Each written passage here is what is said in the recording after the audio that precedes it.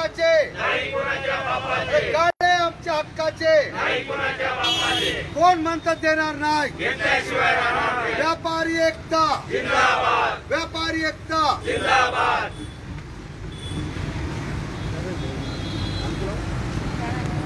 व्यापारी संघटनेचा. गाळे धारक संघटनेचा. व्यापारी एकता. गाळे धारक संघटनेचा. कोण म्हणतात देणार नाही? अरे कोण म्हणतात देणार नाही?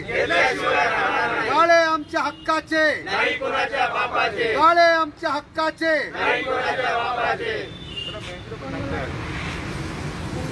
बाईट घेते बाईट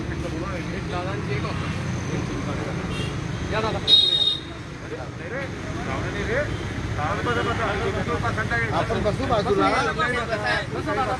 दादा तुम्ही बाजूला नाही.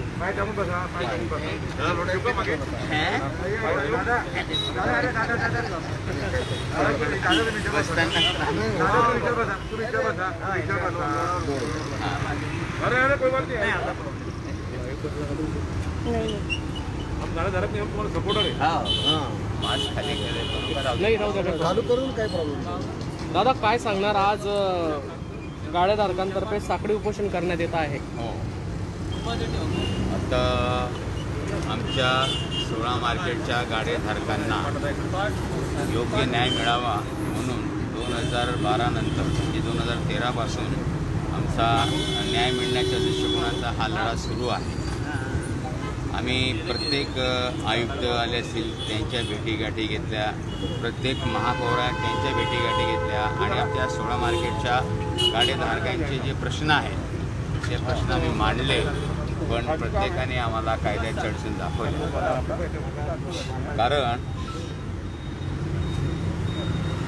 तेरा सप्टेंबर दोन हजार एकोणीस जो अध्यादेश निघालेला आहे त्या अध्यादेशमध्ये ज्या अटी शर्ती आहेत आमच्या गाडेधारकांच्या दृष्टिकोनातनं अत्यंत घातक अत्यंत कठोर अशा त्या अटी शर्ती आहेत त्यामध्ये.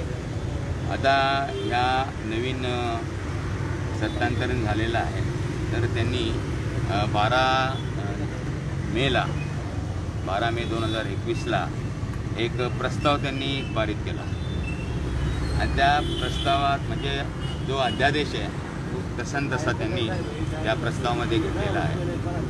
आणि त्यांनी एक म्हणजे अत्यंत कठोर असा निर्णय कसा की प्रत्येक गाळेधारकाने पात्रता सिद्ध करावी त्यालाच गाळा मिळेल असं. आता पात्रता म्हणजे त्यामध्ये ज्यांनी यांनी दुकानात बदल केलेला आहे तो पात्र नाही. जे थकबाकीदार आहेत तो पात्र नाही. अशा अनेक त्यामध्ये अटी शर्ती आहेत. तर एकही गाळेधारक त्यांच्या त्या प्रस्तावाप्रमाणे एकही म्हणजे पात्र नाही ठरत. म्हणजे यांचं जे प्लॅनिंग आहे यांचं जे षडयंत्र आहे की या न- सदराखाली सर्व गाडेधारकांना उचलून लावायचं. कारण पात्रता सिद्धच करू शकत नाही ना. कोणताही गाळेधारक कुठलाही असेल जेवढी गा गाळे आपल्या शहर महानगरपालिकेचे ते गाडेधारक पात्रता सिद्ध करूच शकत नाही. आणि मग यांचं समजा आम्ही काही रक्कम आमची थकीत राहिली आहे म्हणजे आम्ही पैसे भरलेले पण आहेत. लक्षात त्या जागेची किंमत त्यावेळेला ज्यावेळेला एकोणीसशे ब्याण्णवमध्ये सुरुवात झाली इमारतींना तर त्यावेळेला त्या जागेची किंमत आणि बांधकामाचा खर्च हा आमच्या प्रत्येक गाळेधारकाने भरलेला आहे ना परतावा बेसिसवर. आणि तिथून भाडं अगदी रेग्युलर भरत आहे भाडं आणि इतर टॅक्सेस जे आहेत अगदी रेग्युलर भरले आमच्या गाळेधारकाने पण दोन हजार बारानंतर हजार बारापर्यंत वर्षाला सहा हजार रुपये भाडं होतं. त्या ब्याण्णवमध्ये हां. सर्व पैसे भरूनसुद्धा त्यांनी भाड्याने दिले. तर त्यावेळेला वर्षाचे सहा हजार होते. आणि त्यांचं जे रेडी रेकनर त्यांनी आणलेलं आहे आता त्या रेडी रेकनरच्या आठ पर्सेंटप्रमाणे वर्षाला दीड लाख भाडं होतं. म्हणजे महिन्याला पंधरा सोळा सतरा हजार रुपये भाडं त्यामुळे येत आहे. आणि एवढं भाडं शक्यच नाही आमच्या गाडीधारकांना. हे सोळा मार्केटचं आपल्याला कल्पना आहे. की त्या मुख्य मार्केटपासून लांब आहे. कोणतंही उदाहरण घ्या शाहू मार्केट घ्या विजय मार्केट घ्या किंवा आपलं आंबेडकर मार्केट घ्या इकडे भास्कर मार्केट घ्या गोयटे मार्केट घ्या. तर हे सर्व ज्या ठिकाणी कॉलनीज आहेत कॉलनी परिसर किंवा स्लम एरियाज अशा ठिकाणी आहे. तिथं ग्राहकी होतच नाही. मोठ्या मुश्किलीने त्यांना पंधरा सोळा हजार रुपये महिन्याला ते कमवतात. आणि त्या पंधरा सोळा हजारच्या उत्पन्नावर स्वतःचं कुटुंबियांचं मुलाबाळांचं वृद्ध आईवडिलांचं तर चालवतो. त्याच्यामुळे सर्व मुलांचं शिक्षण म्हणा आजार म्हणा वृद्ध आईवडिलांचा आजार म्हणा या सर्व गोष्टी त्यांना सांभाळायच्या आहे. त्या सर्व जबाबदाऱ्या त्यांना पार पाडायच्या आहे. आणि तुम्ही जर पंधरा सोळा हजार रुपये भाडं जर तुम्ही घेत असाल आमच्याकडे तर कसं भरतील ते कुठून भरतील? आणि मग त्यांना पुन्हा समजा हे भाडं भरलं तरीसुद्धा यांच्या पात्रतेप्रमाणे तर आमचे गाडीधारक पात्र होऊ शकत नाही. म्हणजे मग यांना मुसकवायचं यांना काढायचं आणि रस्त्यावर आणायचं यांना. आता या म्हणजे जुने गाडीधारक जे तीस तीस वर्षापासून त्या ठिकाणी बसलेले आहे आणि अगदी व्यवस्थित चालू होतं दोन हजार बारापर्यंत दोन हजार बारापर्यंत रेडी रेकनरचा पत्ताच नव्हता.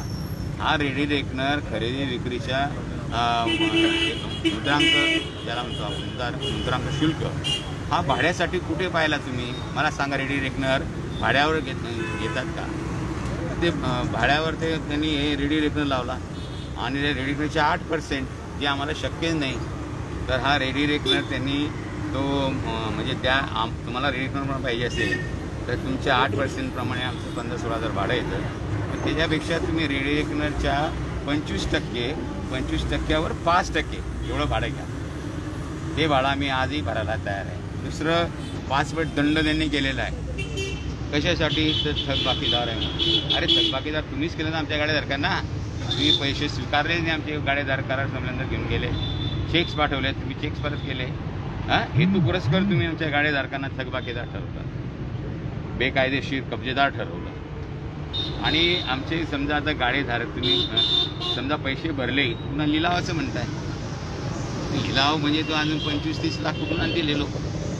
भाडं भरायचं. आणि त्यांचे म्हणजे पंच लाखोने बिलं पाठवली त्यांनी आमच्याकडे. जातात कुणाला सत्तर लाख कुणाला ऐंशी लाख कुणाला नव्वद लाख. असं एक करोडपर्यंत भाडं पाठवलं अरे एक करोड कुठून त्यांनी आयुष्यात कमवले नाही बिचाऱ्यांनी. ते एवढं भाडं कुठून भरणार आहे? एवढं किंबे कोणाचे होते ते सांगा. दादा मागणी काय आता बातमी आता. मागणी. तस पाच पट दंड तो रद्द करावा त्यांनी. काही गरज नाही त्या पाच दंडाची. कायद्यात बसतच नाही म्हणजे त्यांच्या मनाप्रमाणे त्यांनी तो दंड का म्हणजे आकारलेला आहे. तो दंड कुठेच म्हणजे त्याचा कायद्याने काहीच त्याचा संबंध येत नाही. तर तो पासपोर्ट दंड त्यांनी रद्द करावा. आणि रेडी रेकनरच्या आठ पर्सेंट मी सांगितलं माझ्या ऐवजी पंचवीस टक्के रेडी रेकनरच्या त्याच्यावर पाच टक्के भाडं. एवढं त्यांनी घ्यावं आम्ही भरायला तयार आहे. त्याप्रमाणे पाच सहा हजार रुपये भाडं येतं महिन्याला. एवढे लोक आम्ही भरू शकतील. आता यांनी जर तिथून काढून दिलं तर कुठं कुठं जा जायचं या लोकांनी? नवीन दुकान तर घेऊ शकत नाही. परिस्थिती तशी नाही आहे हां तो विचारच करत नाही तुम्ही त्यांचा त्यांच्या कुटुंबियांचा त्यांच्या मुलाबाळाचा त्यांनी कुठे जावं? आमचे घरदारं जरी विकले या लोकांनी आमच्या गाडीधारकांनी तरी पैसे भरू शकत तर आमचं म्हणणं आहे की बा तुम्ही सहानुभूतीने विचार करा आमच्या गाडीधारकांचा. तुम्ही स प्रस्थापित केलेले ना मग त्यांना राहू द्या ना तिथे. तुम्हाला कॉम्प्लेक्सचा पुष्कळ जागा आहे. अजून तुम्हाला संकुलं बांधायची असतील तर. तुम्ही जर स्थानिक कृती रुग्णांना पाडून टाकलं. महानगरपालिका पाडून टाकली. आणि गेल्या किती वर्षांचं पडलेलं आहे तसंच त्याचा उप- उपयोग घ्या ना त्याचा उपयोग करा ना. तिथं कॉम्प्लेक्स बांधा तुमचे लोक कोण असतील त्यांना बसवा. आमच्या लोकांना का त्रास देत आहे दादा आज तुम्हाला कोणी पाठिंबा दिला आज आमचे माजी मंत्री देवकर अप्पा येऊन गेले. त्यांच्याबरोबर रवींद्र भैया पाटील हे सुद्धा येऊन गेले. नंतर अ, मनीष बाबू ईश्वरलाल बाबूंचे त्यांचे जे माजी अ, खासदार. भगत बालेंत आमच्या घोषणा भगत बालाने येऊन गेले नंतर आपल्या आता नवीन नियुक्ती झाली आहे अध्यक्ष जळगाव जिल्ह्याचे. मंगलाताई पाटील त्या सुद्धा येऊन गेल्या. असे अनेक कार्यकर्ते गेले. पाय बाबू आपलं देवकराप्पा बरोबरचे नंतर आपले राष्ट्रवादी. राष्ट्रवादीचे सर्व बहुतेक कार्यकर्ते आणि बाबूवरचे बरेचसे कार्यकर्ते गेले. आणि त्यांनी पाठिंबा आम्हाला जाहीर केलेला आहे आणि तुम्हाला आम्ही सुद्धा मदत करून न्याय मिळवून देण्यासाठी असं त्यांनी आश्वासन दिलं. गाळेधारक संघटनेचा. गाळेधारक संघटनेचा. व्यापारी एकता.